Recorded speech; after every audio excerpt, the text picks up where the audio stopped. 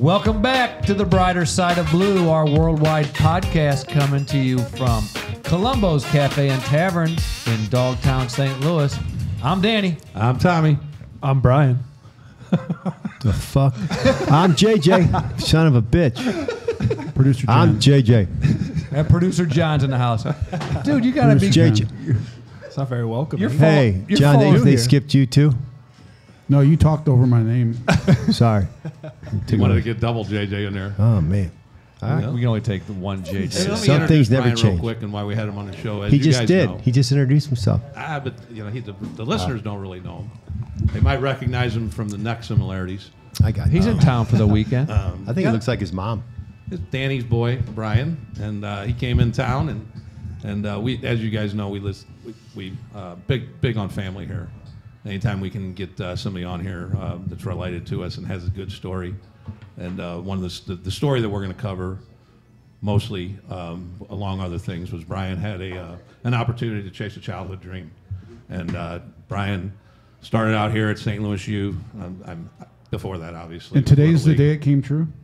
The dream, yeah, He, he's on the podcast. Congratulations. Congratulations, man. It Nice work. lot. Way to stay focused. All right, Yeah. we're done with Brian. Thanks for having me. Congrats. but no, Brian went to uh, St. Louis U High here and was a, a baseball standout. And he went on to TCU, and then he went from TCU uh, to the uh, professional leagues and uh, got all the way up into AAA, and um, worked his butt off and and uh, did what he could, and just fell short. And but we're going to talk about that later. Welcome, Brian. Thank you for having me. Um, just in town today, and uh, I see Chief Speece is here in the house tonight.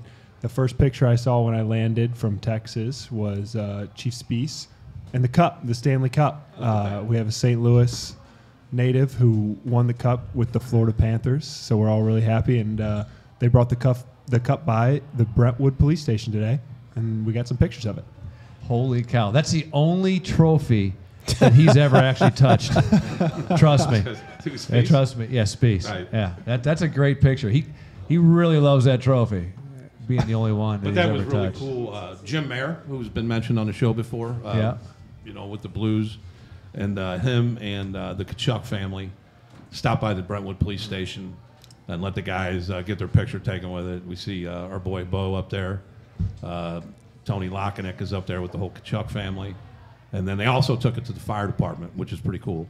And uh, Well, they took it by there, but they were all sleeping, and so they had to keep on going. Hey, but- did they call you guys tell them that this is going to happen? No, we got no. You know, Joe, we've had him on the show like eight times or whatever. think you think he'd give us a heads up and say, "Hey, this'd be a cool picture." No, actually, I, I remember from when the Blues won it. There, there, there's there was no heads up. They don't want to Right. other people come All in other than the the group that's supposed to see it. Yeah, I can see that. So Brentwood's like the landing spot of the cup, though. hey, Brentwood. Hey, because of the Chief Speece is doing a great job. The, a poll, an- a, a nationwide poll just came out, and Brentwood was named number seven best places to live. And that's because of Joe.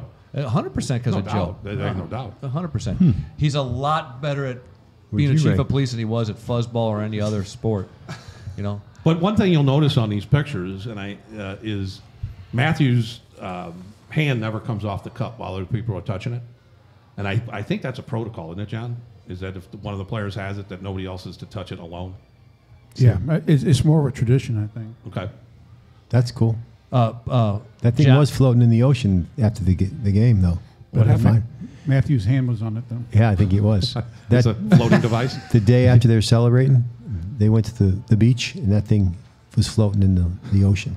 Well, it was like when uh, um, pretty cool. Brady threw the uh, Super Bowl trophy and it hit the boat and landed in the water as well. Hmm. Uh, No, a trivia question for you, uh, producer John. What's Keith Tkachuk's uh, nickname? Walt. Walt. Big Did you- Walt. Did you know that, Brian? Yes. Do you even remember that guy, Keith Tkachuk? Sure. Yeah. He played for the St. Louis Blues. Matthew Tkachuk uh, and Jayson Tatum, who also won the NBA championship this year, were high school classmates at Chaminade. Uh, they were a couple years younger than me, but I remember both of them coming up thinking, wow, we got a couple of superstars over there at Chaminade. Did Tatum dunk on you? No, no, no, no. I, I retired from basketball uh, by the time that Jason came Right. to the MCC Metro Catholic Conference. I tried my best, and turned out pitching was a lot was going to work out a little bit better for me than uh, basketball. Hey, I got a Walt story. Go ahead. He when they were in strike that year, a couple Blues played in the police fireman game. He wanted to play for the fire department because his dad, I think, was a fireman. Yeah. So he played against the police, and I was. It's a non-checking uh, game, whatever. I guess it gets a little chippy, but it's not supposed to be checked. I was tan, I was parked in front of the net, and I got a little shove to the ground. Cross check wasn't it like just more of a push by a very strong person. Went on the ground. I was like I turned around like what the fuck? I look up and he's smiling at me. Walt knocked you on your butt. Yep. Give you a little. I got that- I got Who "Who that won, won?" going who won that game? I think uh, I don't remember. I think we did. You think you don't remember, or do you remember? I don't really remember. But usually policemen usually dominate. Fountain of knowledge. But also on the show coming up, um, after we interview Brian, and we're looking forward to that. We'll get into that. But uh, Chief Steve Dodge is here, and we're going to talk about the uh, the Ferguson riots. Um, Steve was the commander of the SWAT team at the time, and JJ was his sergeant. And um, they have some neat stories. Um, some of them are, are pretty cool. And we're going to give you the perspective from them, from their part. Not we're not getting into the incident or anything like that. Just what they did on a day-to-day basis. And uh, I think that's pretty cool. We were we texting back and forth, and they have some pretty cool stories. So that's going to be coming up. So stay tuned for that. And if you're, t- I'm sure that's going to be the title of, of this show. So if you're looking to get into that, you may want to check below. And um, Jack's What, what's going to be the title of the show? You didn't finish any sentences there. the, the Ferguson riots Okay. will be, you know, there. So a lot of people are going to chime into this, look, looking to go right to the Ferguson riots, and I'm just telling them to look below the in the description. We'll have the time frames. Oh, nice, nice. So See skip. saying? So skip. Is it my Zen and everything? Just go straight to that. There's a lot We can people- never, we can never skip you. We're never going to do that. We'll No, never. Don't, don't, don't. And again, don't bring it up early now. We're going to make you wait. Tommy, what's going on with our favorite mayor up in uh, Chicago? Oh, with see your Brandon boy- Johnson. Your boy Brandon Johnson. He, uh, the same guy last week we talked about that uh, blamed the uh, 120 shootings in Chicago. He blamed it on Tricky Dick, Richard Nixon. Richard Nixon. So this week, I, I don't know how there's going to be any more crime. Um, he took out the statue of George Washington in City Hall. So that I would have, I would imagine that's going to seal it up, and That's a done deal. So be he, no he's crime. he's anti-American, you would think George Or Washington. and that's you know what people vote for him. They get what they deserve. Everybody knows George Washington never told a lie. Well, Cut down a cherry tree though. he's no longer in the Chicago City Hall. I think that was That's, Abe. are, I, are I you serious? Was that's that that's really there. He's really did doing yeah. that. You really did Yeah, that. it's a crime strategy. That's crazy, It's, it's all it's all the strategy. we got uh, ten o'clock. Where do you know where your kids are? And they're just you know Taking down George Washington statues. they're focusing on dead presidents. So, Unreal, dude. Different strategies. Different strategies. Oh, Brian, how you doing? Sorry, you. uh, No. we're just kind of ignoring you over there. No, though, but everything's good. You know, I'm happy to be back in St. Louis. all right, Love it here. yeah. And uh, so, what, what what's what's next chapter? Yeah, I'm stepping away from baseball. Um, actually, I haven't announced my retirement, so uh, anywhere. So let's announce it on Brighter Side of Blue. There you go. I'm well, hold before we do that, is, there, if, is anybody looking for a, a Uh, I might- six nine righty? That, My no, my after the All Star break. uh, team in the Mexican League uh, reached out. I, des- I decided to turn it down. What, what, what, I didn't Bad know about this. I'm only your father. I know move. uh, it was it was now uh, it, it wasn't going to work. Uh, it just wasn't going to be the right next move for me. But I, I did receive an offer. Um, I told him that I haven't played catch in a year. That did not deter. um, so I'm officially retired from from baseball. Announced tonight. All On the You're brighter gonna side have of some. blue. All right. You're gonna have some Congratulations. beer baseball league guys listening. and be like, hey, let's call this dude. Yeah. yeah. But he'll be going back to Texas, and uh, he's starting a new job on Monday, correct? Starting a new job. Congratulations. Welcome Trying to the real world, brother. Yeah, let's see Yeah. how it goes. But I wanted to go, go back to um, your SLU. So that's where you made your your SLU high is where you Yep. you know you really took off. Obviously, you were dominant in, in little league. High school is a little different, and you played for a St. Louis legend amongst here in South St. Louis, Steve Nicollerat.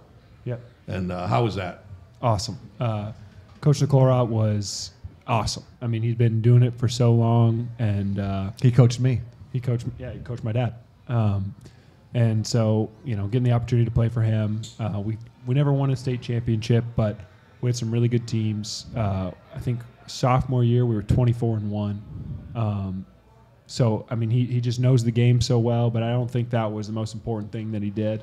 I think he was he's been doing it for so long because he did a good job of helping develop young men. So I think that, Like that. Coach Nicollerat was an instrumental part of my journey uh, throughout baseball and, and really throughout life. And he's a, um, a literally a St. Louis legend. You Oh, know, yeah. he was at Oh, SLU yeah. for how long?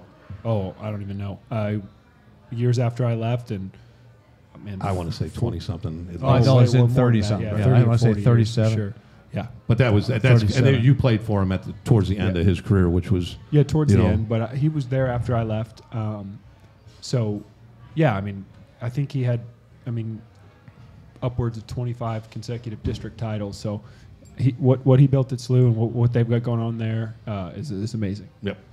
And then you move on to TCU, but I think one of the uh, interesting and to keep a St. Louis tied to all this is that who was who recruited you here in St. Louis from TCU? Yeah, uh, Tony Vitello. So uh, the recruiting coordinator before I got to TCU was Tony Vitello. Um, his dad was a lifelong coach at DeSmet, uh, equally as you know legendary as Coach Nicollerat. I think he coached baseball and soccer at DeSmet.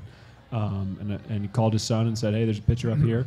Uh, maybe you come take a look at." And uh, so that's kind of how that journey started. And um, now Coach Vitello was never at TCU at the same time as me. Um, he, he he left for Arkansas, and then obviously now just won a national championship with Tennessee. Um, but yeah, so it was really St. Louis that got me to TCU. Yep. And then, and then like I said, you said he just won a uh, national championship, and I guess it's kind of neat for you to, to, to the guy you recruited just won a national championship. The recruited you. Yeah. Right. Uh, no, I wish it was TCU. So Oh, absolutely, There's, there's uh, I, I I am happy for Coach Vitello. Uh, obviously, it's, it's a big accomplishment, but yeah, Well, the, you tied it that'll never be. You tied a record that'll never be broken. yeah, and you hold it with a couple other people. But Brian went to when he went to TCU, he went to the junior or junior. He went to the um, NCAA College World Series. College World Series for all four years: freshman, sophomore, junior, and senior, which is pretty cool. yeah. And you was- pitched in it all four years. Yeah. So it was a pretty cool run. Uh, yeah. Obviously, if you if you go to school, you want a chance to play in uh, in Omaha in the College World Series, and to get the opportunity to do it every year is unheard of. And so it was definitely a really really fun experience and uh, good time in my life. So now you're just you're a, you're a freshman in college, and you know you're just getting your feet wet with this. You go to the Junior College World Series, and I've been to those, and I didn't go. you know those. you're a Not the 19 Junior College World Series. I'm sorry, No- I keep no- saying that because no I, I, went, disrespect to I the was in the Junior Junior College. College World Series. I'm sorry. I just tried to pump myself up. Oh, why I you keep did. saying that. 'Cause I've told in uh, people. Grand Junction. Uh-huh. Oh, that's a very very very cool event. Yeah, it was cool. That's when I when we were when I was at Scottsdale Community College. We went there, Yeah, I mean, 1987. my roommate um, at TCU played and won uh, 2015 okay. uh, with Iowa Western Community College, Ryan Merrill. Oh, Tommy could have went to Division One baseball, but he forgot to go to class while he was in junior Yeah, school college. wasn't- Yeah. School wasn't my forte. No. Anyway, enough of me. but and, and what I'm saying though is that the same thing happened to me, and I'm sure it happened to you. Is I was totally surprised of all the kids that were there asking for autographs. Yeah. And there you are, you're 19 years old, you're right out of high school, and you're kind of a dummy. You know, at least I was. And then I got people coming up wanting me to sign stuff, and and, and, and I'm sure that happened to you, correct? Yes, there was uh, definitely in Omaha. There's a lot of events specifically for that, um, where you you sign memorabilia and all that kind of stuff, and a lot of people want to try to, you know, get something that's signed by every player in a specific year. So I, I always thought it was cool. Um, during batting practice, it's definitely the first time I've ever had to like catch a fly ball while I'm shagging, and then realize that there's a hundred kids asking, "Throw the ball up here! Throw the ball up here!" So you got to get, you know, you you learn it's like one per every three balls that you catch because those baseballs cost five dollars. You learn that quick. Oh, really? Hey, did you ever they get a you? did Did you ever get a chance to bat, being a Uh, pitcher? It was uh, at SLU at SLU High. no, yes. no, like yeah, but I'm TCU. No, no, no. TCU or professional baseball, no way. And, and I think everyone was better for that fact. Who hit the longest bomb off you? How far Uh, was Sean Watkins, Loyola Marymount University, 2015. Uh, they, they had a, I'll never forget it. They had a blue monster in left field, taller than taller than uh, the green monster in Fenway, or at least it looked like it. Threw a two-one heater right down the middle, and he hit it 878 feet. uh, no one would let me live it down. So much so that uh, we're flying back to Texas from California Loyola Marymount University, and uh, we're you know we're on the plane, and and uh, the flight attendant about halfway through the flight says. And uh, we have special guests on the plane here today, Texas Christian University baseball team, and all my friends are videoing me, and I'm thinking, all right, whatever. So I, I kind of like ham it up for the, the video, saying like, yeah, go frogs. And then she says, and uh, if you guys look out your left window, you'll see the home run ball that Brian Howard gave up. and so, uh, yeah, I'll never forget that one. So you guys were just on the plane as part of the whole plane, though, right? So other people. Yes, so it was a Southwest flight, and uh, a couple of the older guys went up to the flight attendant and just begged her to make that announcement midway through the flight. And it, it- yeah, That's fun. Backfire on me. That's fun. and that's part of the being a team, the, the Yes, being a part of the teams, the, the, the camaraderie that and, and the fun that you had over the years. You can't take it too seriously. Uh, take it seriously when you're on the field, but once you get off of it, you got to be able to laugh at yourself. I mean, I should have thrown a heater right down the middle. That's what happens. And, Those guys get scholarships your- too. uh, just being friends with your father, I followed your career pretty closely over the years, and a couple times, and I believe it was your junior year in particular, you started off really rough, and um, and, and a couple years, and I and me and your dad would talk, and even though you had a couple rough outings, you would come back with like seven in a row that were just really good, and that I always told your dad that that was the most impressive. That that what has impressed me the most about you is the, the fact that no matter how bad you did on a particular day, you would always bounce back and do really good. Yeah, I think that just goes with uh, baseball as a whole. Um, it's an individual team sport where you're going to fail, and uh, I definitely failed a lot. Uh, so I learned how to deal with it quick. Um, you know, there's eight other guys at a time, up to 40 other guys that are really counting on you.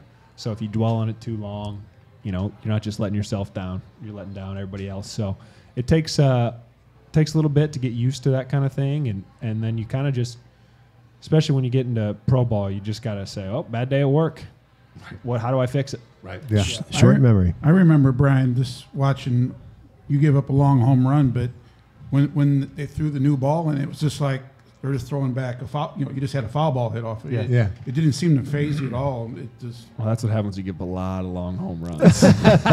Short memory, bro. Yeah, I Short mean, memory. Yeah, I think that's part of it. I mean, uh, I've always, I've always said that I'd rather, you know, d- depending on the score. Obviously, if it's a tie game or we're up by one, I don't want to give up a homer. But I'd rather, I'd rather, get, you know, if we're up a couple runs, I'd rather give up a homer than walk a guy and and then start a rally that way. Right. So, you know, homers happen. Uh, you know, I've had. Uh, a couple of my buddies from TCU that went on to play professional baseball, we, we would have a group message just about homers. Uh, you know, who gave up the longest one that week? Who, you know, see who can. I'll top that in five days, but You know, And who Uh, can make it the funniest on a text? Yeah, yeah. I mean, look at this one. You won't believe this. But then, you know, if you look up and you went six or seven innings and only gave up two or three, hey, the home run's kind of funny. And, would- and, uh, you don't want any cheap ones. You don't want wall scrapers if you're giving up a homer. I've always, I, I, I'll stand by that forever. Give up a bomb so it's entertaining. Yeah, I mean, there's a lot of fans that come to watch the games. They don't want to see a wall scraper. They don't. They definitely don't want to see a walk in a run. So,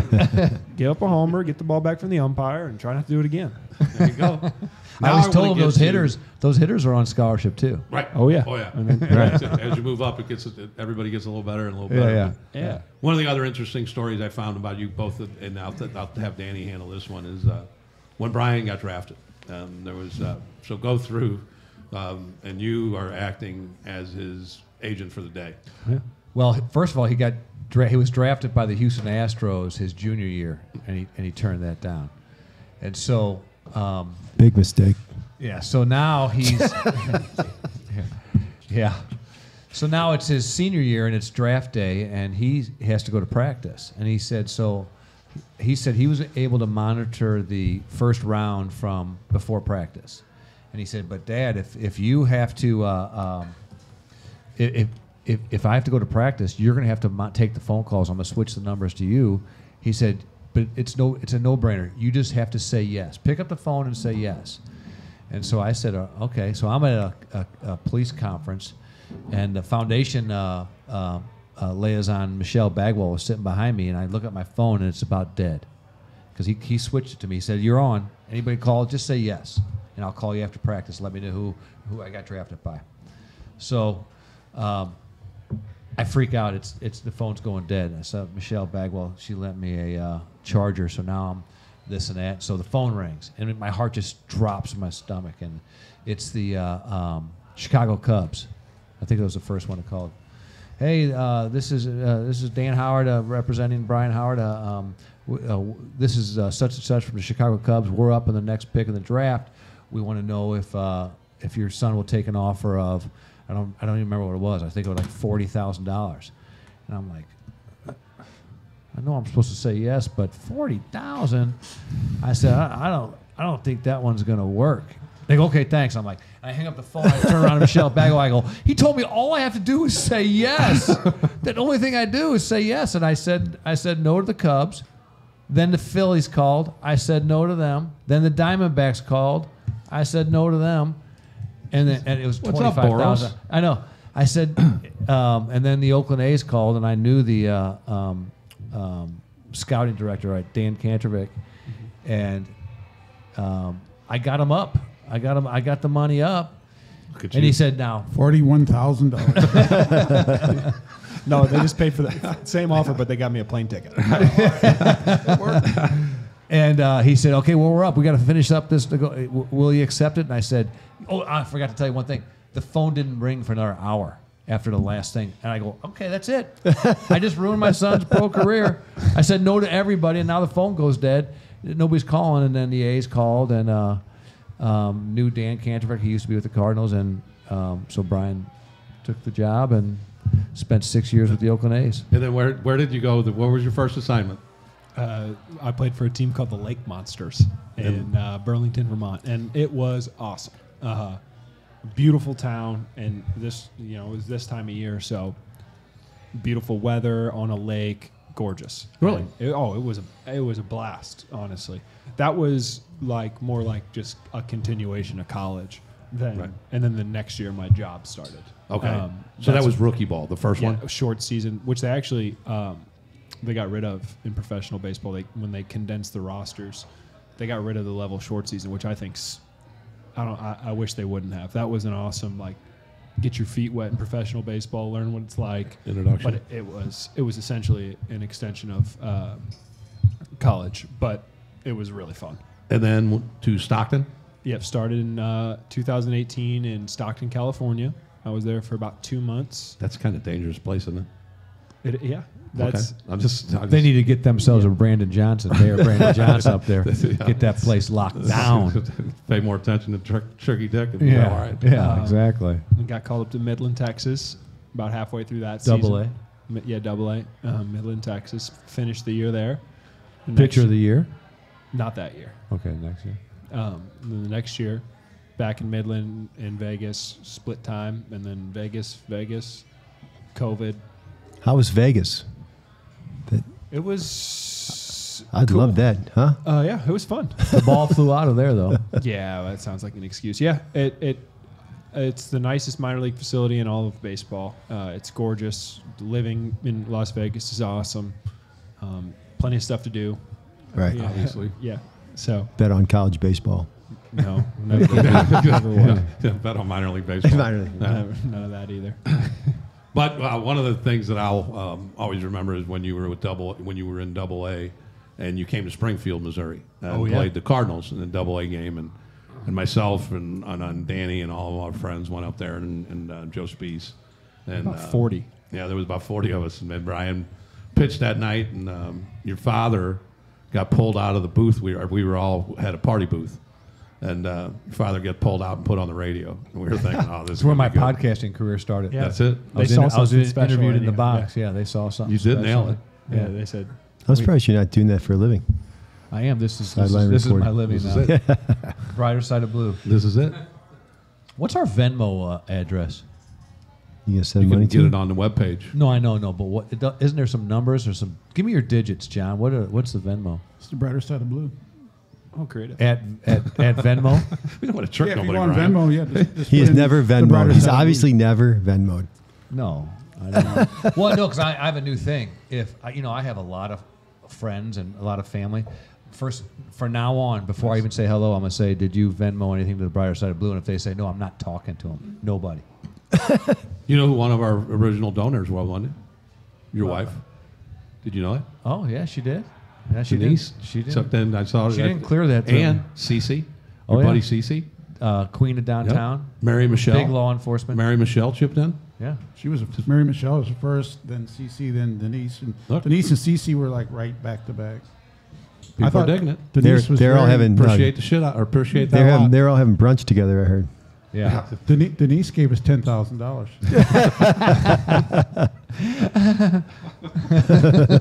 It's very much appreciated. But one of the things too, Brian, that I wanted to ask you, and, and uh, I know your dad was your coach when you were little, and I having my son that's gone through this, and, and everybody's out there has had a, a son or a daughter that chases their dreams like that, um, and the dedication that it takes, the time that it takes.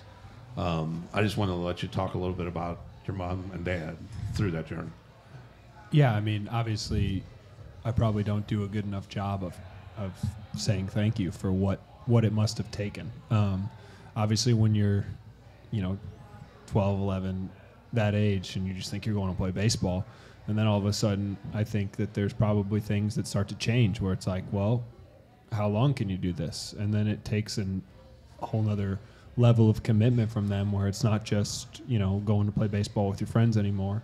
And they and i think that if there was a handbook for how to handle uh, someone going to play baseball at the next level higher level than you know little league and then high school and then college and baseball i think my parents would have done they should write the handbook on it because it took so much more from them than I would ever be able to repay them in terms of driving me to practice. And then, you know, handling what, like we said, it's a game of failure. And sometimes I'd come home and I failed, you know, and then, you know, talk about how it feels to move on from that. And so both my dad and my mom, I think, raised me in a way that I, I was able to do that. And I, I don't think that just comes to anybody. So I think that everything that they gave to me, I'll never be able to repay them, but I definitely am grateful for it. I That's remember nice.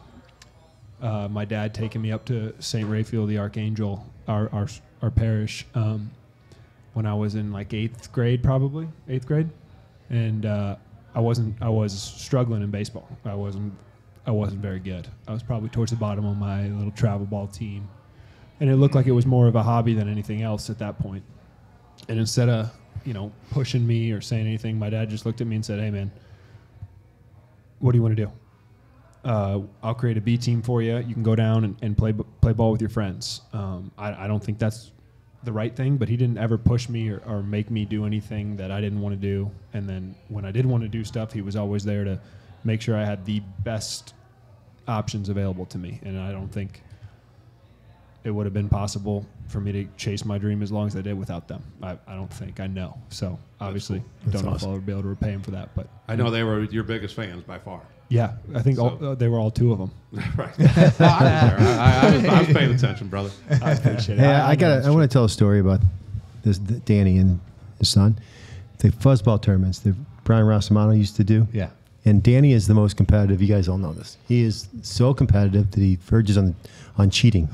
That's how competitive he is on these fuzzball because you call your own strike. Yeah. So one of the tournaments one year, he and I guess you were in high school. You were getting maybe senior, but you were in the paper. You were tearing up high school, and you you might be able to correct me. So the tournament's getting ready to start, and it's a bunch of teams, and you walk in with him, and I, I'm like, I walk up to Dan, I go, "Are you serious? You're going to have your son pitch? That's how competitive you are. You have your son pitch against us?" He goes, "He ain't touching a fuzzball. He's just here to bat." Yeah. I, I with uh, Chief Spees in here tonight. I have a story about that exact day that I Go think ahead, is very tell good. Uh, Chief Spees, you might remember this. I was batting. It was it was the three of us. Well, right? he's That a was the team competitive asshole, too. Yeah. Yeah. Um, and well, uh, not asshole, but he's competitive. we were we were playing a game fuzzball, and a couple pitches came high and tight to me, and I was I I, I'm- I don't I was at SLU, but probably 13 or 14, 15 years old, whatever. I was playing. Yeah. A couple pitches were coming high and tight, and uh, I think one ended up hitting me, and you two were behind me watching, and it looked like somebody opened the gate. You guys were charging them out to go get the guy that hit me. no, it never came to that, but uh, all I remember is uh, I think you said, uh, well, it was just a question of who was going to get there first. Well, I was faster than Joe. still, still am. both got bro- both got replaced hips, I believe. broke right? ass hips. Sorry, people. Worked out good. yeah. what do you say back there in the peanut gallery? He's, he's getting Yeah, picked no, on. He's got no the mic. business. He's Do you got- understand how he much wants I'm a- enjoying this? he wants a I mic. I get to rip on Chief Spees, and he doesn't have a microphone. He has to sit well over there. Hey, take it. sit there and be quiet and take it. I love it, man. Hell yeah. Let's keep it going. So, Brian, if you were in town and you needed a car um, Oh. to get around, No what do doubt. you- and, and I believe you went to school with a Schicker. I did. Alex Schicker, uh, s- like St. Raphael, where we had that conversation. Uh, went to school together. Um, he was a year younger than me in school, but we that didn't stop us from being running buddies. I remember pool hopping with Alec. Um, I don't know if that's probably shouldn't say We that. cut that Oh, out. you can say it. Well, we Pop- knew everyone that owned the pool. Right. They just didn't know where we No, were exactly. going the to be there. time you were there. Right. Didn't, didn't have their schedule. Yeah, well, that's we uh, have our people talk to their people. Um, but yeah, so Schicker Automotive, uh, unbelievable family-owned business here in St. Louis. Um, now, I, I've just received word, it came across my desk, that they're offering a concierge service. Okay, now this service will pick up the vehicle. Did you know about this? It'll pick up the vehicle whether you're at work or at home, Yeah. Okay. service it, Yep. and bring it back to where they picked it up. Come on now. No, I know that's. I mean, That's top. when notch. Alex Schicker was in sixth grade, I said, you know what he's going to do someday? that He's going to have a concierge service. That'll pick up the we were learning, we were doing finger painting and Yes. all that stuff, and I said, that kid's going to have a concierge. most likely to have a concierge Yes. service. yes. And I was, If I could, s- and he yeah. won that vote. I would. Hey, Brian, I don't think we can pay you a whole lot, but why don't you take your dad's spot? Screw that job. My parents will be glad to you stay here. You can live at home still. Yeah. And take his spot. Okay. When does he start? He's a So, natural. well, thank you for that. Yeah, Schicker Automotive Group. Yeah. Yeah. And I think they got that first first Saturday of the month coming up where they, um, if you go in and test drive, I know that won't be this particular Saturday, but first Saturday of the month, wasn't it, John? The first Saturday of the month, Yeah. they have you go in there and test drive it. and They Donate. five dollars to make a dream or make oh, a how wish about that? foundation. That's amazing. yeah. They do they do need stuff like that all the time. But yeah, Schicker Automotive. Thanks for that, Brian. Absolutely. All right. Anything else for uh, where, where are we going next, Tom? I think JJ's got something for Zen, doesn't he? No, I think. Yeah, I think. Uh, Does Brian? Brian said Brian he wanted, has he a wanted- Zen. Yeah, Brian might have a Zen too. Yeah, I think this is We're having a Brian's Zen Zen off. oh, boy. A Zenoff. Is that all right? JJ, is it okay if I just, I have a- a little Zen. It's not a big Go for Zen. it. Go for it, big boy. So, do you normally, you look in the camera for this one, right? You do whatever you want. Oh, I usually yeah. like stutter and stammer and fucked it up. I was going for Do it JJ. like four likes texts. I didn't know. I- Don't worry about it. If you fuck it up, So, if you're friends so with here's Jack, he'll fix it. I, I, I learned this a long time ago, and I uh, I try I try to live by it, but it, it is a tough one to live by. But you try to. So life is like a road trip. Okay. So imagine right now, we're going from Columbo's, here in Dogtown, to New York City on a road trip, but we're starting at night. Okay. How how far can we focus, producer John? How far can we focus? We're starting at night. At night, um, focus on my eyelids. Oh, okay. See, well, that's not. So, life is like a road trip, okay? So, if we're starting this at night, you only have the next 200 feet because that's all that your headlights will provide you to see. So, if we're driving from Columbo's in Dogtown to New York City, we can't see past those 200 feet. If we focus on New York City, we'll never make it. So, take what's in front of you, the next 200 feet in your day, in your life, and that's how you'll reach your goals. That was ah, good. JJ's fucked. Oh, I'm not gonna. is that, is that I'm, original, Brian? I'm not gonna do mine. Did you make that up? no, he just rattled that off. It was a I'm story. Gonna, I'm that was gonna, a Zen I'm gonna take story. a pass on mine. that was good. I was kind of like, where the hell is he going with this? And then he wrapped Then he it up. wrapped He's it up going like a 200. Son champ. of a He bitch. He, He came should in take your strong. spot. do I do mine still or no? Yeah. Success is not final. Failure is not fatal. It is the courage to continue that counts. All right. Say it again. Success is not final. Failure is not fatal. It is the courage to continue that counts. Two strong God damn, Zens dude. tonight. We're gonna walk away Two with some strong knowledge up in this show. That is, that's huge. I just feel better. I, wrote feel that. like a better person I'm now. I wrote good. that. I came up with that. I sat down and wrote that. You did? You did good. That's you did. It was an original. That's why you didn't stutter and No. butcher it up like some kind of. It wasn't original. I. It was. Uh, I'm not sure who it was. wasn't Rich. I thought you were going to start when you. You know when you were on a roll is when people were giving it, and then you you would say their name before you get this came from so and so, and I think you were doing that so we wouldn't get on you because you were like shielding yourself I don't know. with their name from his end, so we wouldn't make fun of I somebody believe it else. was Winston Churchill.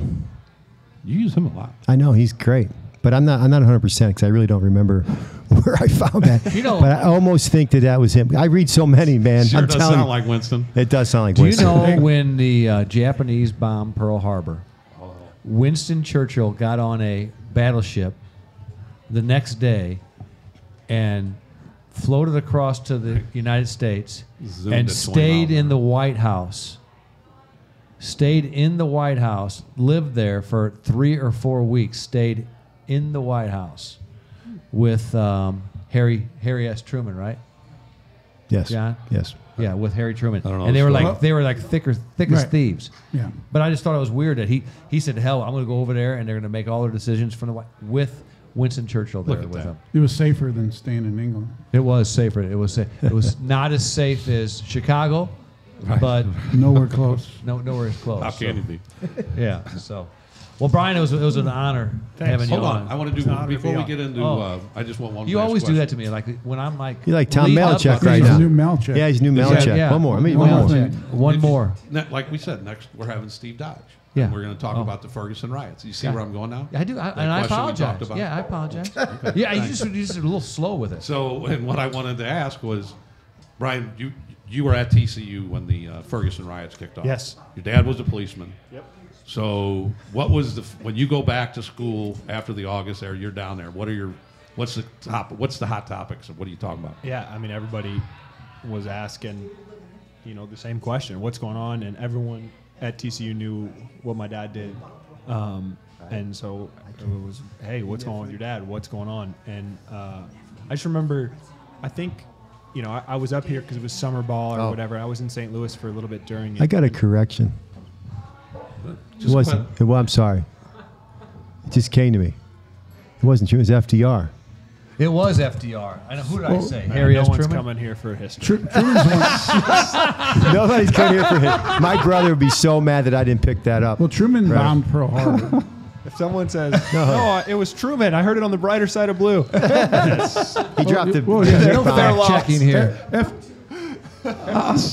FDR was the, originally the president when World War II, but Truman was the one that bombed Pearl Harbor. Not bo- not Pearl Harbor. He, bo- he Truman bombed He dropped the Pearl bomb. Harbor. This He is getting bombed off the track. Oh Yes, he Jesus! Oh, Can't be jeez. true. Man, you got straight. I, straighten I'm supposed to be the history guy. All our history teachers are rolling over, just laughing their asses off at us. When the, I'm Ger- when the Brian. No, Germans bombed there's not a person that is listening to this show that's that's worried about history. It's like, hey, they're getting their history Well, wrong. they might be they worried expect about I us to get but shit they can't come here for My it. brother's a history you know. expert, He's, and so is my son. They're both big history buffs. My brother'd be so disappointed that I didn't pick that up right away.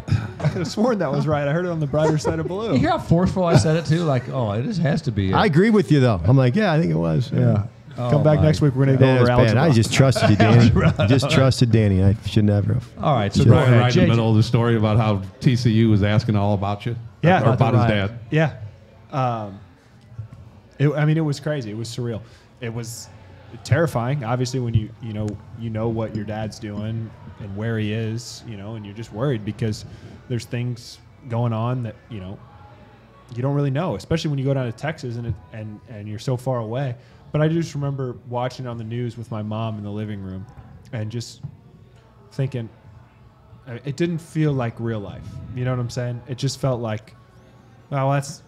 But then it was it, it was my dad. It was my hero out there. Just my guys out there in, in a situation where you know we're we're upset and we're and we're confused Yep. and Yeah. just hoping that Now, were you home when it first kicked off? I, I was home during it. I don't Okay. remember if I was home when it first kicked off. Okay. But I, I, I do remember watching it on the news and knowing that it was coverage of where, you know, my dad was and my mom's husband and we're just sitting there and I remember we, we were holding I was holding her hand while we were watching on the news and it was just a surreal moment where it's like you know, a lot of people around the world are watching this, but we're sitting here and it's him out there. And then not just him, it's, you know, obviously it's a family. So a lot of people that I know are out there. A lot of my dad's best friends are out there with him. It's not just it's you know your your uncles, and uh, so it's.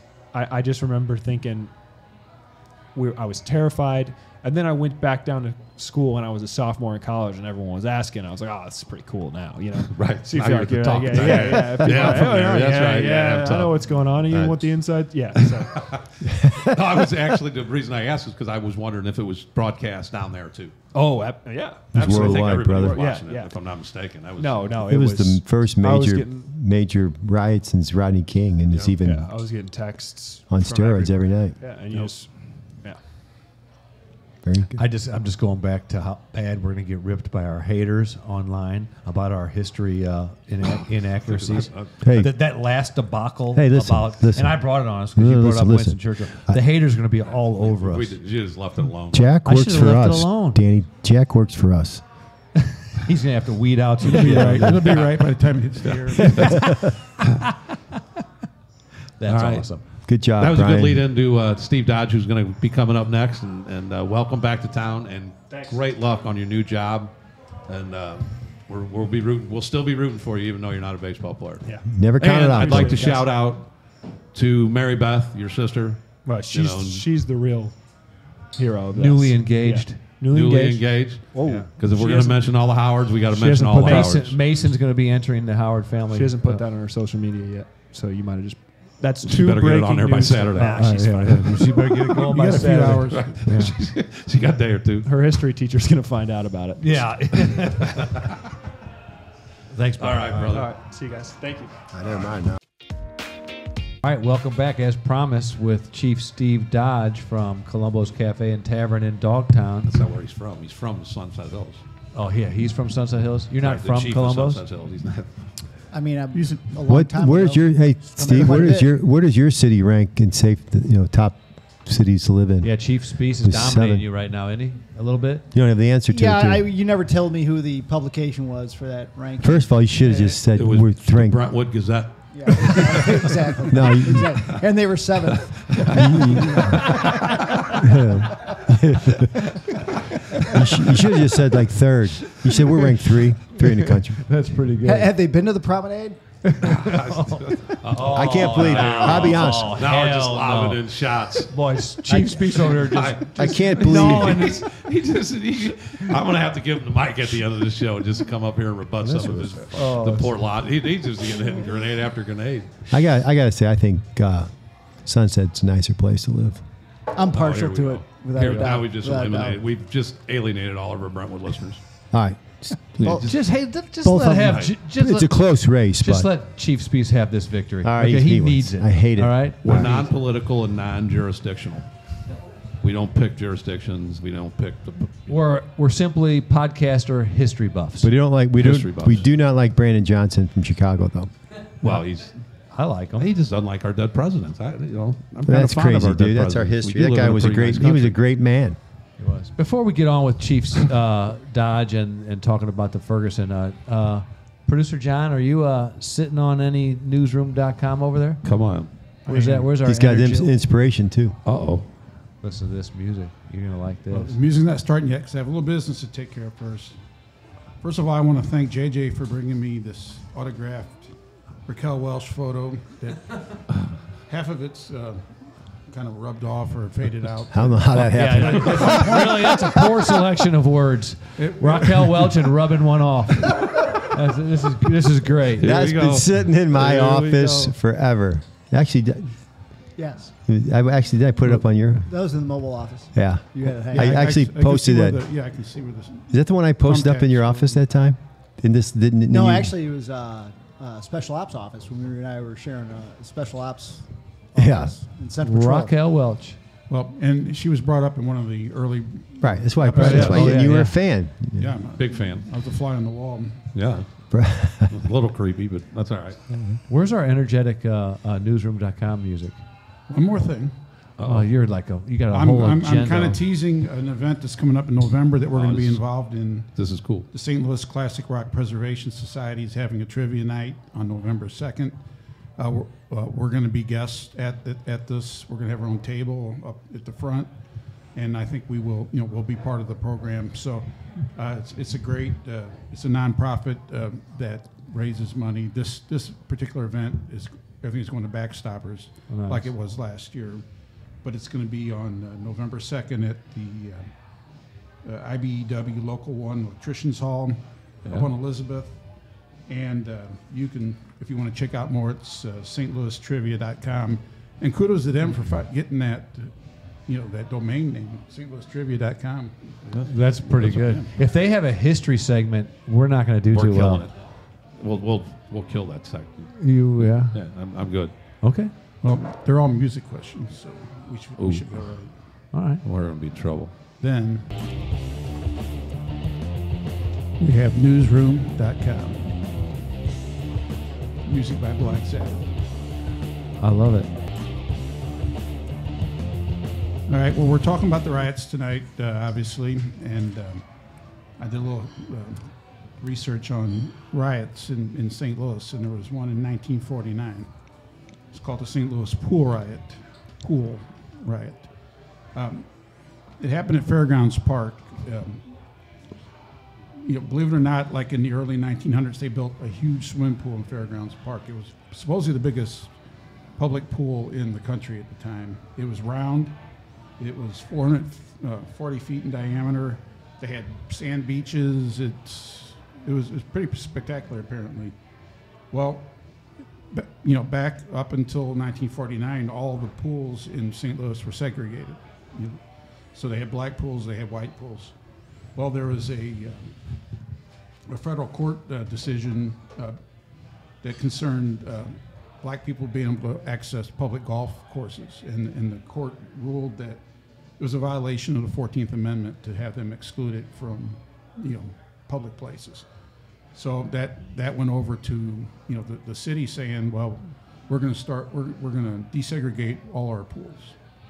Well, this was like the crown jewel of all the pools. So on the, on um, June 21st of 49, they had the first day where anybody could swim there. So 30 to 40 black kids showed up. Um, and by all accounts, for the first few hours, all the kids, black and white, played together. They had fun, no problems. But as the day went on, uh, a bunch of teenagers showed up and started yelling at the black kids in the pool. These kids like were on the outside of the fence. It got so bad that at a certain point they, they took all the kids into the uh, the like the locker room and they called the police and, and the police had to get the kids out you know safely.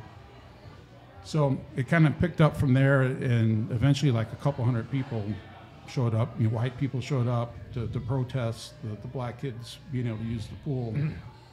Um, a couple hours went by, a couple hundred people there.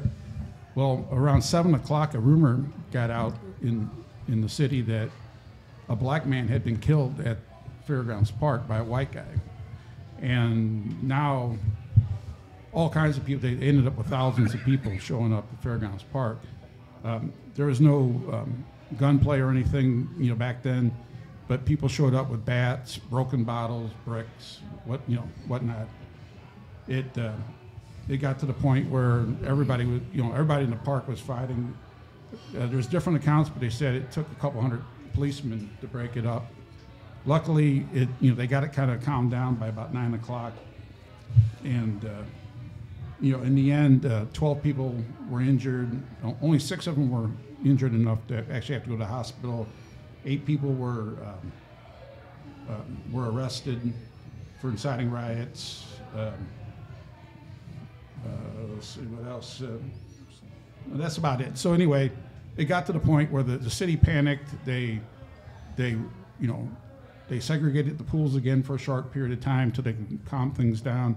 And actually, the a couple years later, the, the fairgrounds park they just closed it down, and and uh, that was the end of it. But um, just another, you know, example of you know, an incident happening where it, it turned into, it got out of control, at least for, It's know, called the 1949 pool riots. yeah, Fairgrounds Park Pool Riot. Fairs- Wow. The state of the St. Louis in 1949. That's it. In June. Hmm. Circular pool with sand and everything. Sounded like a nice ass pool. Yeah. I ain't gonna lie. I was like, I think it's a lake it now. be- is it the lake? I'm guessing. I don't know. You, He just threw that out there. I, I've- I've seen a pool there. I, I don't It's know a it's big. the There's same a big but lake there. It's there. Tanisha's concrete. saying that that's Tanisha's bullshit. saying it doesn't even exist there anymore. She's saying bullshit. All right. Thanks for calling me out, Tanisha. You just threw that out randomly. I, That I totally just was just throwing shit down there, see if it'd stick. No, I'm with you. I, I'm all about that. You know me. I'm, Well, let's All see right. what uh, Sheriff Grady says about all this. Yep. Here's what Sheriff Grady's going to say. You have trouble understanding that, let me give it to you in Polk County vernacular. This is the last thing you'll see before we put a bullet through your head if you're trying to hurt our children. We're going to shoot you graveyard dead if you come onto a campus with a gun threatening our children or shooting at us. There you go. You know what? I'd like to see know who did that? Uh, uh, Chief, um, him and Mayor Brandon Johnson. Oh in a, uh, debate. in a A debate. debate on how to A debate. how to curb crime. yeah, yeah. I, I don't know if uh, Chief Grady would be down for the George Washington thing, but he doesn't appear that he would want to take George Washington out of his uh, city hall. No, Nope. I, I, He's still our favorite. Yeah, he, he's, You know who charged a si- uh, schoolyard or school and took care of business? Can't really talk about it. Who's that? St. Louis City. Damn right they did. damn right. We're still waiting to get One of the best responses, and then, and then when that when that story does come out, we're going to have some of those people on. Um, but What right was now the name of the high school? Visual and Performing Arts. Central. Central, I think. Central. I That know was my old high school. It was Yes, Southwest, Southwest, back in the days, Southwest back Right. All the old heads know it as Southwest. When you were playing offensive line for the Southwest Longhorns. I did. Didn't you Apparently, I missed history class. so- yeah, you did. You and JJ were out. Didn't you have a Yeah, sword yeah. lid on your football field? Or was that St. Mary's? It wasn't ours. There was a large sword lid right on the football field. Put a cone on it. I think it's Roosevelt. Chief Dodge, sorry you had to uh, suffer through all that. It's okay. Uh, but you probably learned a lot about history and Like, presidents and world wars listening. Yeah, I mean, it just reminds me that you know Ferguson really was a day that will live in infamy. Yeah. A famous- Who said that? A famous speech by Harry S. Truman after we bombed Pearl Harbor. It sums it up. There you go. So After we great job on that segment. You're all college educated. Everyone here graduated? I, college? I, Almost? I had a couple. I, I dabbled. Associate. I dabbled. Not even that? Nah. I'm hammered. Uh, Okay. I'm JJ, you got a I'm, ham- master's. I'm hammered. You're a knucklehead. I did well in the academy. Hey, though. I'll be honest. T- Tommy did. He apparently he slept through the academy and g- got the highest grades. But I really stopped listening to Danny a while ago, so I didn't even hear him say it. You just said yeah. Yeah, I say, yeah, whatever. I agreed with you. Thank Let's get on to the riots. But Go ahead. um, one of the things that's really cool is that, and not cool, but uh, Steve was the, uh, uh, you were the lieutenant of the SWAT team at the time. Yes. JJ worked for you as a sergeant. Yes. And the riots kick off. Yes. So the incident happens on a Saturday. When do you guys, how, how do you guys get involved? Give us, give us a little background on how you guys get involved and when. So yeah, so the original uh, shooting happened on a Saturday, and they um, they had some crowd issues there at the time, uh, but nothing that turned into what it eventually turned into. Um, and then that Sunday, um, that's when I think more of the protests started happening, and um, then it got to the point where I know they called in St. Louis County TAC unit to come down there, and they call it what they call Code 1000, which basically is so many officers from every department in the area response. Um, and I guess it, it grew out of control. So at, at one point, I mean, there was rocks and bottles being thrown at, at county TAC and, and the county officers, and they did not have any of their equipment with them.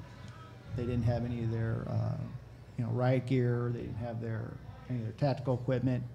They were all in uniform because they thought they were just responding for uh, you know, Crowd control. crowd control kind of thing, Right. some protesting and that kind of thing. But then, um, pretty soon after rocks and bottles, it turned into gunfire, and uh, So this is Sunday?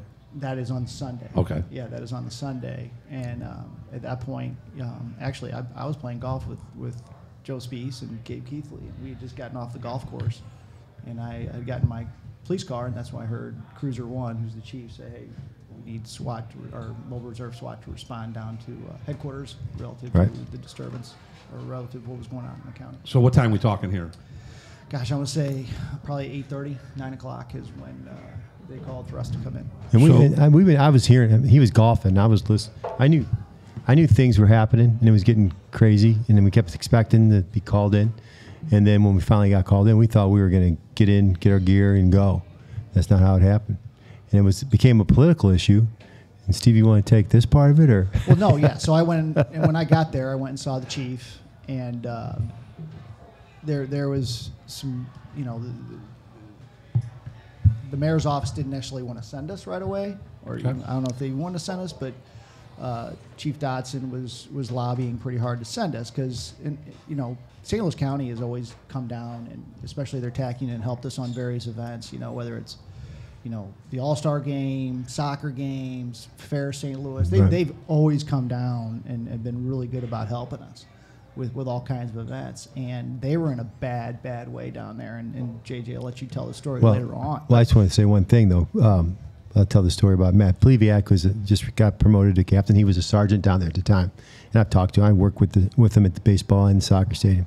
Great guy, and we talked about it before. And he just remember his recall, and he's he was like, "Holy crap! They're throwing bottles and rocks at us." And he had, And Matt's one of the guys down there without he was his SWAT guy. I'm sorry, he's but they SWAT don't have guy. their equipment. They don't have so their they're equipment, and they're getting Okay. overrun. Right. And he's like, he asked his captain. Uh, do you remember which captain? Um, which captain? 'Cause Uh, Brian Ludwig. Ludwig. He says, down. "Where's city? Where's city?" And he says, "They're not coming."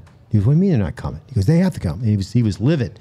He goes, "It's a political thing, and they don't want to come." He's like, "That's," and he was so telling me a story. He gets mad. He goes, "That- "We were so mad. We go down, like he said, we go down there for everything for them. Fair St. Louis, Mardi Gras, anything that goes on, we help them, and they're not coming." He was so livid, and he does say, and we'll get into it later. He says. I remember just being so mad, and it was getting getting close to being like, we got to get out of here. And he heard us hitting our shin guards and said, seeing us was like seeing, it was like Well, Christmas morning. get But into we'll- we'll get- I know. I'm just. I'm just telling Uh, you. But I, you might now that you're into it, it, this is how it went. Hmm. But go so, ahead. So yeah, so Chief Dotson eventually was able to convince the mayor's office, hey, we, we need to go down there and we need to help them. And so at that point, they said, hey, Steve, get your guys, go. And uh, head down.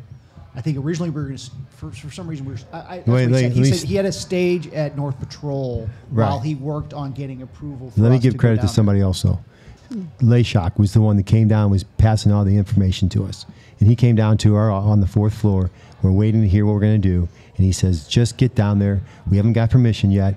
Get your Yeah. gear, get your bear, close. and go as far as you go up to our North Patrol is right there. Union, it's just a mile away or mile and a half From away Ferguson. from Ferguson. Just sit there and stand by, and then that's and yes, then that's and then eventually we got the green light to go to Ferguson, where we went to the Buzz Westfall. We went to Buzz Westfall Center, right. and then uh, we saw uh, Chief Belmar, and Chief Belmar saw us, and uh, he was very happy to see us. But he's like, he's like, you know, they're down by the QT. Well, he gave us the William Wallace, William Wallace speech from Braveheart. I mean, he just said, hey, get down there. And, Right. and- and no, I'm going to tell you what he, he said. No, he was mad. He was so frustrated because his guys are getting overrun. When he saw us, he was so he goes, "Get down there and lock them. do, do your thing. Do your Get thing. Just lock their asses thing. up." And we're like, "Holy crap!" So that's how we started going down there. And and I get to give Sam Monty and and so I I had a, a squad and Sam Monty had a squad and he, of course he was the lieutenant and he said, "Get your squads. Let's line up. and Let's start going." So we started marching down there. And Sam Monty, I get give Sam. skirmish, or in uh, column, we were probably in column. We were in two. columns. Column We were- two. Columns of two. column Yeah. of two, walking straight.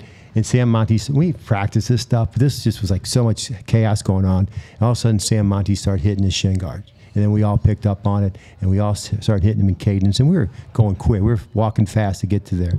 And I remember it was another department caught up with us on the Highway roo- Patrol. Highway Patrol, and then Highway they Patrol started. their- And they started doing too. the shin guards They too? did, and then when we got down to the where it was all the stuff was going on, it was right where the QuickTrip, and then I always said the QuickTrip just started catching on fire. It was just a we could see the windows were broken out, and the and one of the aisles was on fire. And Lieutenant Dodge said, "JJ, take your squad, clear off the parking lot, push the park, you know, clear the parking lot, and see the fire department come in and." And put it out. No, the fire department was. Weren't coming in. They never came That down. was my plan. Is let's let's secure the, the, the corner and get the fire department in there to, to put out the fire. But they're like, no, we're not coming. Which I don't blame them because there's you know Well, I, I remember that. So Monty's squad took the, the, the front on the, on West Florissant, and they lined across and kept kept the line. And my guys pushed off on it. It was getting dark. It was, and then uh, all of a sudden, every night. huh? It was yeah, it was night. It was dark. So I remember uh, all of a sudden shots to my left, shots rang out, and it was like pop out, and I looked over because it was dark, and I saw all my the officers that I work with, and they all started scrambling behind the bear. I'm like, holy crap! I thought someone got shot. I'm like, holy shit, someone got shot. So I started to walk over there, and I'm I'm the sergeant of my guys who got to hold the QuickTrip. And I remember I never forget Matt Tessero goes, Sarge, Sarge, what are you doing? I go, they're getting shot. He goes, you can't go. You got to stay with us. And I'm like, he's right. So I just stood there. I felt helpless watching them guys run around, and then. Um, But you had to stay focused on what the assignment right. was. And right? then the thing was, no, thank, thankfully, uh, no one was shot f- f- citywide. And then we and they were shooting ga- stuff. Uh, it was like a little over like in a yard over a fence or something. And was the shots came out. Do you remember? Yeah, we were facing down uh, West Florissant, and uh, um, they were throwing a bunch of rocks and bottles at us. And so, you know, at that point, I, um, I think it was Major Layshock or Colonel Layshock at the time said, "Hey, you know, we gotta- Major. we're going we're gonna start deploying gas, just so you know, we're going to go through our use of force continuum on this." And then, so you go, you know, you start out with inert gas, which is or inert smoke, which is regular Fake smoke gas. and you try to you know you tell them Right. to leave you tell them to leave and if that doesn't work then you work your way up and uh, so we got to pepper ball and then when we started shooting pepper ball that's when they started shooting at us Right. I want to go back just a little bit and set the, the, the you guys banging on your shin guard a little bit better. Because that the, the, the guy you talked about, Matt Plebiak, Yeah. right? Well, when JJ told me this story, I thought it was one of the coolest stories I heard about the thing. Is that, you know, again, to, as we built it up, that these county guys are under fire. Their their stuff chucked at them. They don't think the city's coming. And when Matt Plebiak continues to tell the story, he tells it that, and correct me if I'm wrong, JJ, he was mad. And then all of a sudden in the distance, he hears those those knee pads getting popped In perfect cadence. in perfect cadence. And as they're and, and, and then as as they keep coming, that that cadence gets louder, and it gets louder. And he's like, I was, And then JJ, correct me if I'm wrong. He said it was the best feeling that he's ever had in his life. You know, He said it he was said he said thank god is what Right. that, that, that's Right. the quote i got from us oh thank god and it was so intimidating though that they tried outlaw it the next day. they did. They- That's how they- intimidating- Not, they didn't do it right you away. know- I'm not sure this next day, but eventually we were told we couldn't do it anymore. right. It could because You, of that. you night, were correct? intimidating the people that were throwing Yeah, rocks, right. bottles, and Right. shooting But at you. There's a young. You're a jerk. I wish I knew this young officer's name from the county. He ended up, I think he's a federal agent now, and he was part of their team. They used to. After that, we started training. He was teaching different departments, and he says, "I tell that story every time I do a class. Is how when you guys came down hitting your shin guards, how intimidating it was, how effective it was." He said, and how cool it was, and. And, and Matt even said the next day at the command post when we got there, because we were going back every day after that, said that was like Christmas morning seeing you guys come down there. So it was cool. mean- it, was, it was i don't know how hmm. intimidating it was because they started shooting at us eventually so it wasn't, Well, couldn't have been mean- that intimidating That's a good point. Well, they That's outlawed it. Well, and I, I just think Which it's is- good it was it was i think, I think, think the- Brandon Johnson called down there and said, Mayor hey, Brandon Johnson. Mayor Brandon Johnson. You know the most infuriating thing about the the riots for me, and I would spend some nights up there with Layshock and them. But at night, you, when the sun went down, the shit kicked off. yes Right. Shooting at Every us, night. bottles, rocks, uh, burning down buildings, and then and then in the morning, in the daylight, it was nothing. It was just peaceful protesters. Always when the and sun that's went when down. the politicians would come out. Mm-hmm. They'd come and they I walked the streets of Ferguson. Yeah, you but you made sure your ass was out of there by sunset. and then uh, oh, it wasn't that bad. Everybody's behaving. It was peaceful. These people are peacefully protesting. Why are you leaving before it gets dark? You know, stick around. Walk with us then. No. And they wouldn't do it. No. God. Well, I, re- I remember giving you, and I, I think I told this before. Um, the, what, what was your rank? You were I was a captain. captain. Captain. So was Joe. Was he a major? Uh, Joe was a captain as well. So No, you were a major. He was a major. All right. So they came down early when it was still Like, you daylight. Them. And they Yeah. were, let's give us a tour. So I let them jump in my police car and we Down gave to it. They went and sightsee. That we went driving down all the way down West Florissant and came back. And then so we come back. There's getting more and more people. And I, they'll, I know they, they know the story because we talked about it. There was a little kid, probably. How old do you think that kid was? Nine. Nine. He looks at us and flips us off. I rolled down and I go, hey, I go, this man, you know, this, good to see you. He goes, young man You know what? nine years old. I We go, boy, they hate us out here Yeah, in they did. Ferguson. No, but we Steve's- did laugh, though. But Steve's got a story that's exact opposite of that. Uh, when you guys drove past yeah it, you want me to yeah. tell it now or we want to go Yeah. through anything with ferguson Are we Let's done? keep We'll going. go back. Okay. We'll go back, but well, no, it was uh, it was after Ferguson had been done, and obviously, you know, we were down there for two weeks straight, and it was people yelling at you, calling you everything Right. under the sun, and and Police are bad and, and, guys at and the this point. media coverage was it was very anti law enforcement, and So I think a lot. I think it starts to take a toll on, on police officers. Is that all the negativity towards them and everything else, and um, you know, it hurts morale. And I think it may have affected the morale down on mobile. Well, I remember shortly after everything calmed down, it was like a couple months later, we had uh, executed a search warrant up in Walnut Park. It was early in the morning, and uh, we execute the search When We come out, um, some family and friends showed up of whoever's house it was, and same thing. They're yelling at us, calling us every name of the book, whatever. By this time, we're kind of immune to it though, so we're just kind of walking by Right. and we don't even pay attention to them because we're, you know, we're kind of immune to it. But we get in the bear, which is the big, you know, Armored ve- vehicle. armored, armored vehicle that we Well, had used. well known at this point. Yes, we, we had used in Ferguson and gotten quite a bit of coverage, ours and counties and everyone else's, and you know, call them military, you know, they call them tanks and everything else.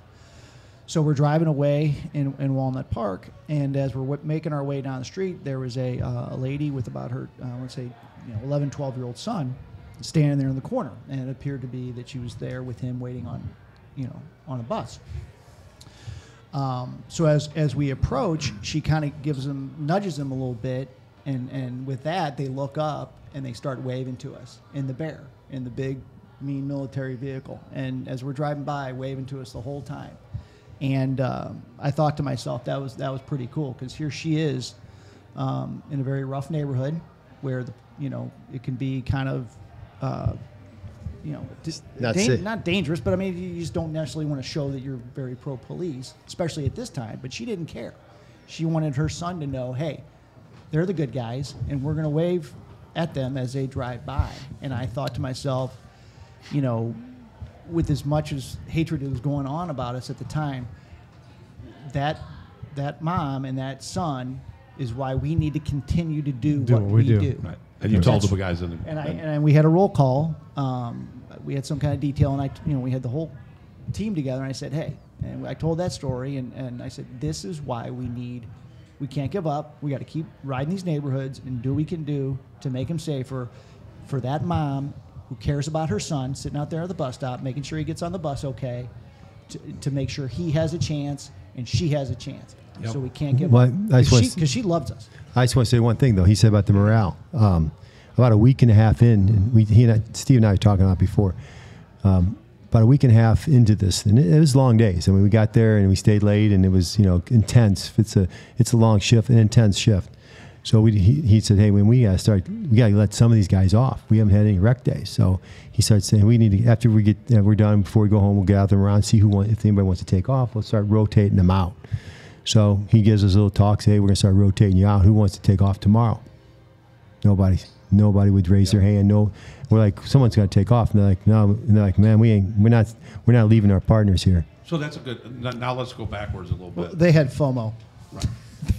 Yeah. Fear of missing out. Well, I didn't want to say that, but you know, Fear of missing out. Yeah, Yeah, fear of I missing know. out, no, but no, they were dedicated. They were. So let's go They wanted to back though, and then so that first night, you guys go to what time? What, what Oh I God! don't I mean, three, four o'clock in the morning.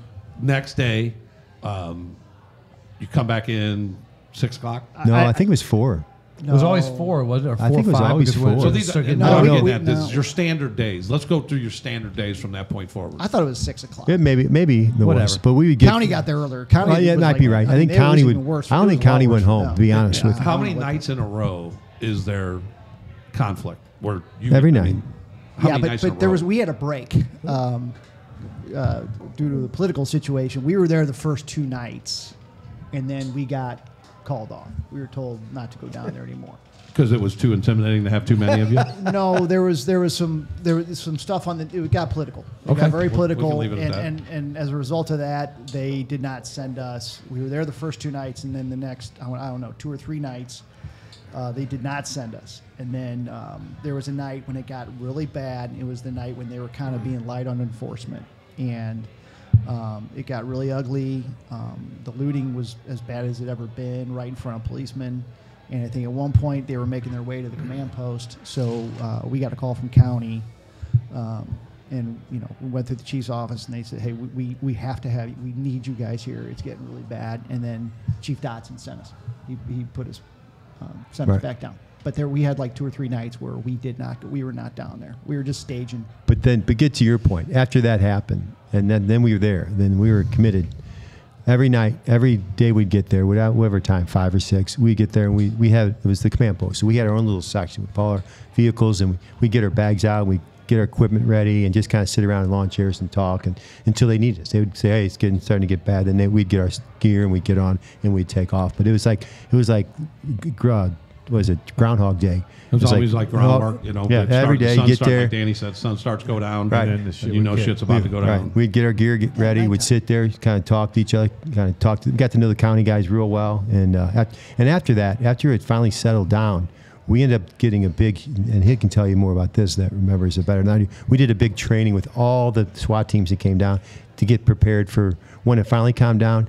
We knew it was going to start up again when the, the, the verdict comes out on the officer that shot him. So either way, if he was guilty or not guilty, it was still going to be a protest. So we were training with all these guys, got to know all the different TAC teams and stuff. It was kind of neat.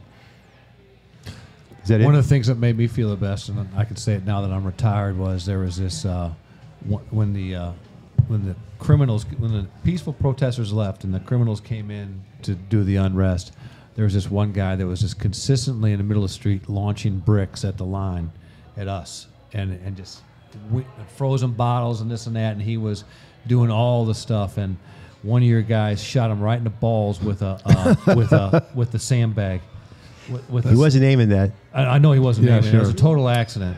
It was a total We don't accident. necessarily know that was one of our guys either, though. There's a all lot of right. other tactical officers. I, I got you. I'm not snitching anybody But I out. just say, he, But- I'll but say, he I'll was just say in this. Mid-throw of a brick like this, and all of a sudden, oh, Down. he got down. Down. Down, goes I'm not sure. Right in the I'm not sure balls. who it was, but he, he works for First Form now.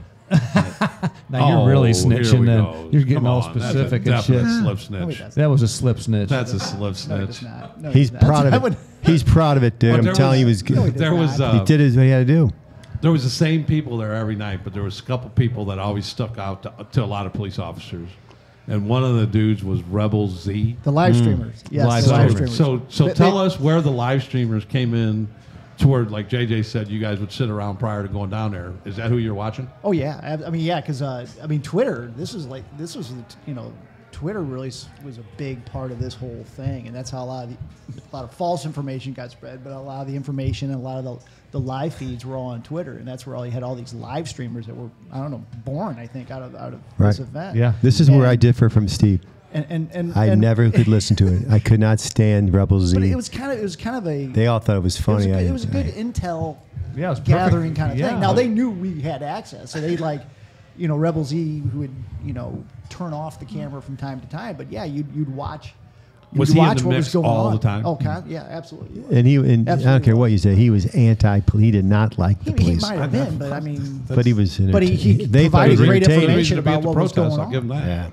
Yeah. But he was he was on like was your families watching him like because there was a lot of families that were worried about people and then you get on that and You didn't have to watch him if you all you did is turn the news on. It's Yeah, on Yeah, the it news every he- night. yeah, every major news station was there. Covering it. Right. Fox. You know, But he was in the mix. CNN. oh he Yeah, was yeah, down well, with- he was. I mean, uh, yeah, he was. He was. He got arrested a few times. they times. let him Did he? They let him into that. how many times did he get hit with mace and, and And, Probably, and- I and hear. I'll, I'll say this. Probably more so than anybody. I mean, because Right. he was he was there in the middle of everything. every one of them Yeah. was he like was there other people that, that were that were there like every time There was that lady in the wheelchair. Uh, Miss Oh, Jupiter. oh my Jupiter. gosh. Heather. Heather. Yeah, she, She was, just- she was pretty famous. She would just roll. She would roll her wheelchair, flip you off. She really hated us. Roll her wheelchair, flip you off. She she really hated us. You know, I haven't, I've That not, I've not Rebels, seen I her don't think though. hated us Oh, nearly as much as she did. What's her Oh, name? yeah. She hated us. Uh, Miss Jupiter, I think, was her uh, Nickname. Twitter name, but her real name was Heather. And uh, she, yeah, she really hated us.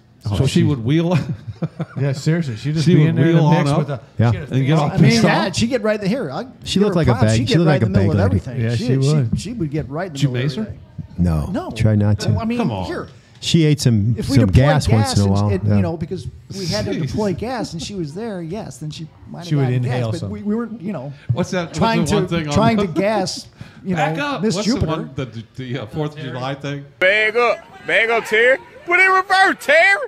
Put it in reverse. Oh, Lord. back up Jupiter Was Rebel Z the one that got his phone stolen? Where the guy? No, that was uh, Ma- Bassem Bassem Masri. Mas- yeah, okay. Masri. Yeah, yeah. Because I was watching that live. He was filming. Yeah, and he he's was- he- talking crap, and He was then a- all of a sudden he was a, he became Stole big his phone. right after uh, Yeah. Vonderrit, My- the Vonderrit Myers. Right. shooting. Yeah, Yeah, let's go that's into that. Actually, that they- she passed he- you brought away. that one up. That was when Um, he got big. Into So this is on the heels of all the stuff that went on Ferguson. So Yes. it's probably about a month and a half later, wasn't it? Something like that. yes. And then um, an officer working secondary shoots a guy at Shaw and whatever. Oh God. Down right. In the Shaw, it was in the Shaw Shaw, Shaw neighborhood. neighborhood. It was on Shaw. one of the stores. Actually, right. he, that officer worked for us. Oh, he was at Mo- in mm-hmm. mobile at the time. Mm-hmm. All right, and then but there was, it was I always call it the ham sandwich shooting Right. Yeah. because the family claimed it was a He ham carrying a sandwich when Subway he was sandwich. clearly carrying a gun, and which started another round of Yep. riots. And this is, and they were just as not just That, that not one, just that one bad. wasn't as that was No, that was the- more protesting than than that was not as uh, That- that, no, wasn't anything the- like Not as violent? No, no, They- they they they, that was more traditional protesting. That Well, that, that whole thing. I don't know about that, but it, it was a little bit calmer than it was. I just but- remember getting shot at during that. one. Right, right. But they would start out in, in Ferguson, and then they would get on social media and be like, "Hey, we're going to go down Where to Shaw." go, yeah. They'd go to Shaw neighborhood. So we had our, and that's when I, that, I always tell a story. I told a story about when Michael was on, a young officer, and he volunteered to be on the CDT team. It's like you got to be shitting me. So I, I won't tell that story again, but uh, they would start there, and they would go to the QuickTrip. Or they walk. They the one day they did. They walked from there. They walked to that QuickTrip in Manchester and uh, Vandeventer, and they took that they took it over. They blocked the door and all that stuff. And actually, I got a, a picture of me plastered on the papers saying they called me a fascist because I had the big can of mace and I'm just talking to people. But showing them what you got. yeah, Don't make me use this. but I didn't. And then actually, I remember they were they sat around. Uh, they blocked the, the I don't know if you remember they blocked the, the entrance so you couldn't get in and out. So we surrounded them and we and we were going to lock them all up. And if if I, you recall, I said I saw one girl. She didn't she didn't look comfortable. It's like she wanted to leave, but she was with her friends. And I said, Hey, I said, you want to leave? You want to go? She's like, because they knew we were getting locked up. And she goes, she shook her head, yes. I go, you can go. So I let her go. And then I said, anybody else want to go? And a bunch more jumped up, Right. and, and they like all left. idea. The rest were hanging tough, but the, there was like four or five of them were like, oh, this is getting real. I'm going to get locked Right, up. yeah, yeah. And I Right. could I could tell by their want body all language this they now. weren't happy. And I said, you guys want to go? We just You- came down here from the county to have some fun. We didn't know it was going to Right, be yeah, like yeah, you, yeah. I can actually Serious. get locked up. Yeah. Right. You know, it's, We just came and check stuff People are out. getting uh, locked and we up. might cut this out, but you know what made me mad, most mad? We're never cutting this out. I can guarantee. you. during those, especially down there, and I remember it vividly, we had the skirmish line. We are keeping them off the parking lot, and there's these soccer moms that probably never, be honest, they probably never even knew an inner city kid, and they are yelling the most vile things at us. And I always felt bad for the people holding the line with the shields. That they just get picked on and yelled and screamed in their face. And I just remember this lady just screaming at these policemen and MFing us. I'm thinking, I got so mad, and I said, go get her. And I, he touched, I go get her. She's, you know, and then when she read my lips, she's like, Yeah, and she took off. Don't need but all the, that. It was I- a. I'm not, I'm not beating on fun. I love soccer moms. They're great. They're, you know, they're good parents. sure. But there were so many that seemed like they were from areas that they don't even know an inner don't city know kid. they don't know. And they're out there because they want to feel good about themselves and they were protesting and they would just call the policemen the most vile things. And I think that's the hardest thing for young policemen or any policeman to sit there hour after hour holding line and just getting yelled at and saying how Bombarded. stupid you are. And now we wonder why we have a problem getting policemen working for the police department now. Right. So that No, was, and that's and that, that was my that soapbox. Was like the, the, the thing that Good job, JJ. We won't cut that out. No, you that you feel good. better. We feel better. we all feel I better feel good. that. Yeah, man. Uh, Get it out, in a while, you got to JJ. rant, dude. Just let it out. all right. Well, I'm getting fired up. You got anything else? yeah. Well, I got something off the. Uh, well, let's keep going on this. And what else we got to talk about? Well, We're gonna. I do. Uh, well, one, of like you said, it was it was nationwide. Every police department in the country was watching us. So after it was kind of settled down, it was in September. I go on my annual soccer trip with the police department, North America Police Soccer NAPS, North America Police Soccer Tour. So I Oh, went. I thought that was because it was soccer. Is everybody took a nap? Oh, Boom. yeah. That could be. oh, Tommy. So there's there's uh, well, I'll continue. There's departments from everywhere, from from Vancouver, Toronto, it's North America, and then there's New York and Cal, L.A. So we all go, and, and you get to know the, the the people from different cities. So we got there right after the riots had just slowed down, but it was still a hot topic. And one of the New York guys said, "Hey, man," they saw a St. Louis guy in a St. Louis jersey and said, "Hey, how are the riots?" And they're talking about the riots. He goes, "Man," I, he goes, that, "That was crazy." But you want to talk to to JJ because I was, you know, they knew I was sergeant there. They knew you knew everything. So they, say, knew- hey man, these New York guys know want you they want to talk to you. So I was like, what do they want to talk to me about? They go, they want to ask about the riots." So I, the guy comes up, he said, hey man, how was it down there? You know, it was crazy, it looked crazy. And the next thing I knew, I was surrounded by a bunch of New York PD, and they're asking him, and I'm holding court basically and telling them about the riots. And I'm thinking, and I think later on is, little do they know. They're going to be dealing with the same. Oh, yeah. it's just starting, brother. It's Yeah. going to hit every city, and it did. So, but they were like, they were enthralled with me telling the stories of what happened. That, like he and I just Yeah. told about, talked about, and I'm like, wow, this is kind of. This is New York. This is NYPD, who is the biggest police department and sees the most crime, and they want to hear from a guy from St. Louis that has 300,000 people in it. So Huh? it's kind of cool. It was iconic.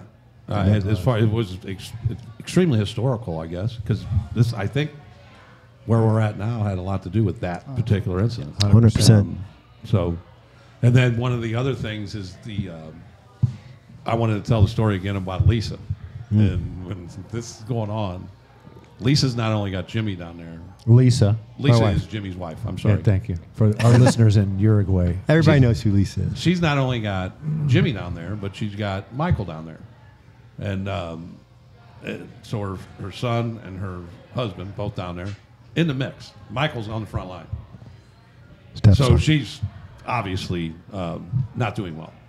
So her and her, my wife Connie are, are friends. So Connie says, "Well, come on over, and you know we can we'll sit with you."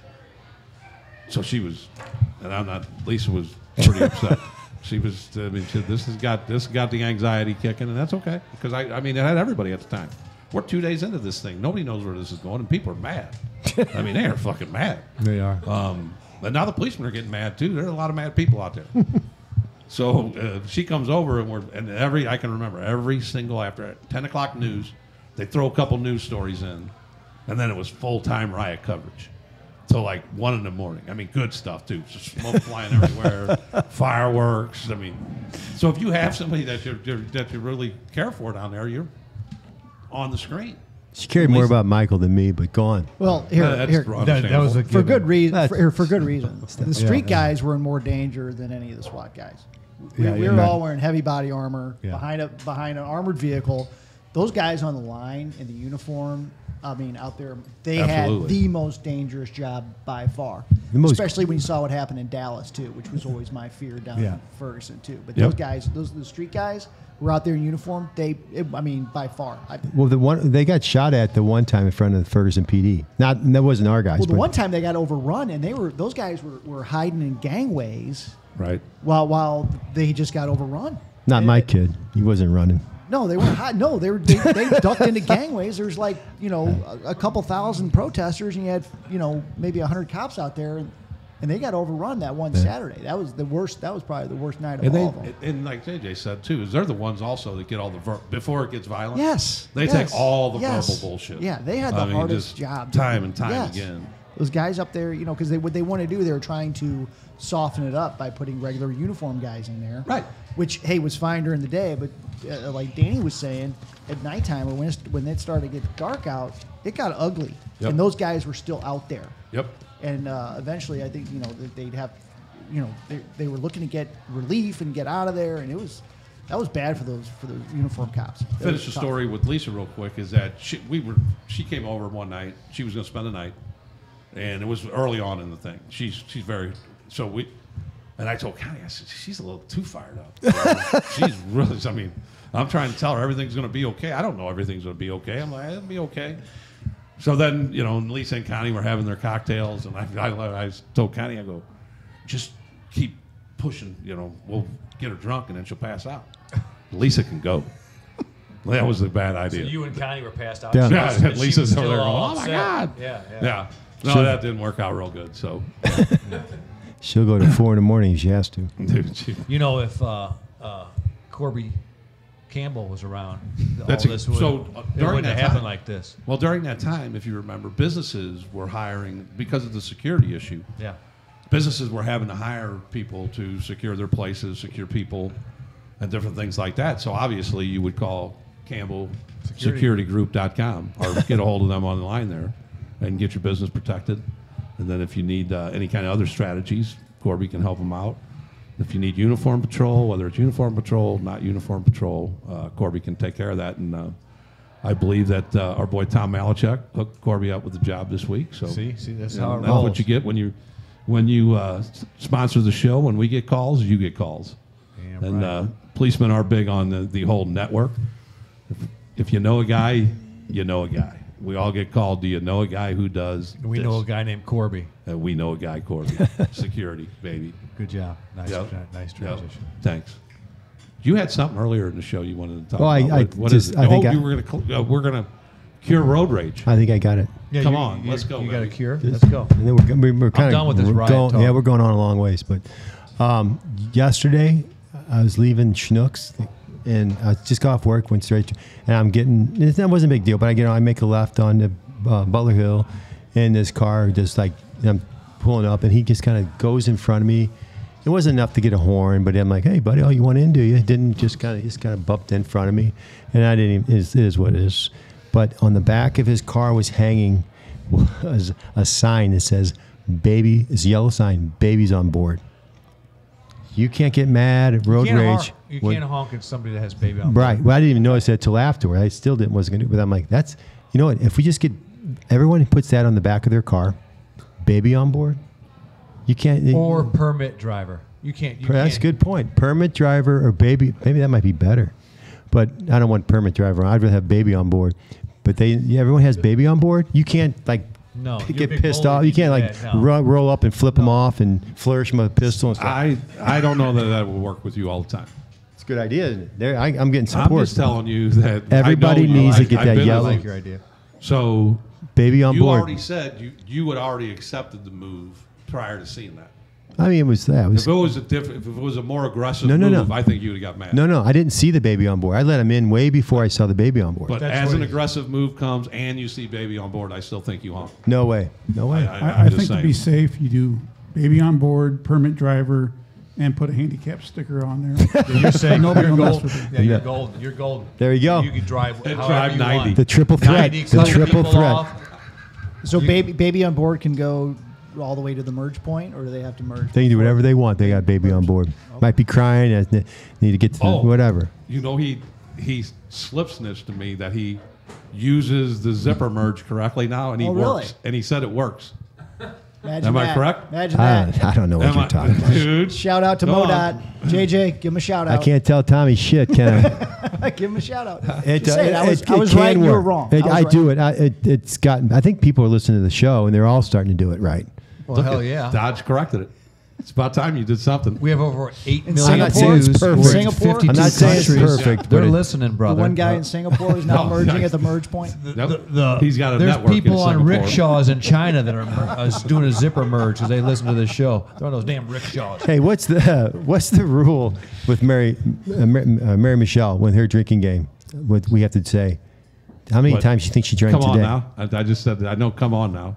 Hey, Speece, come up here. Then she's got a then she got a drink because Speece comes up. Like, Yeah, if if, if Speece's name's mentioned, you have to drink. And we, I'd, I'd like to we give up some of annihilated my him. time to Chief Speece so he can. I was going to do the same defend thing. I was going to do the same thing. hell no, Joe. I, and I veto First of that. all, He was called. He was called a I competitive think asshole the, uh, earlier. If the, ever the cameras are starting to get low on yeah, battery. no, we're done. Tommy, how can you support our grassroots podcast that's now worldwide? Go to our website. The brighter side of blue.com. Yep. Then you got the Venmo thing. You got support the show, and we are going to. Uh, John and I have talked, and uh, we're going to put a lot of good stuff on the on the uh, Web website there with different pictures that we're getting, and we we encourage everybody to send pictures. Um, some of the old pictures that you guys got, you know, just send us copies of them and try to make some stories out of them and throw some other stories on there and um, we, we've got a lot of neat things we're working with Jack. We're thinking about doing some um, live feeds from here. You know, we're, we're getting a little better to where we think we can do pull that off, but I don't. we, we might have to keep that under lock and key. Um, Is, yeah, Greg, that- is, that- is Yeah. Greg Columbo that's the hardest. approve that? That's the hardest species. Laugh the whole time. He sees this thing going off the rails. really, really. live. No, but you go to our website, and we're going to keep continuing to, to build that, right, Johnny? Absolutely. Damn, Skippy. And then, um, but yeah, that's how you can support the show. And I see these people using that Venmo for, for everything under the moon. They can do it in their, bl- in their blindfold. I want to start seeing some people support the show. We're going to grow this five thing. bucks. Whatever. Take five. Five, five times ten, five times fifty, whatever. Uh huh. All right, Tommy. We out? What's the what's the word? I word? know. Are we done? We're done, bro. We're done. Communities that support law enforcement are safer places to live. Peace. You know that. Thanks, Steve.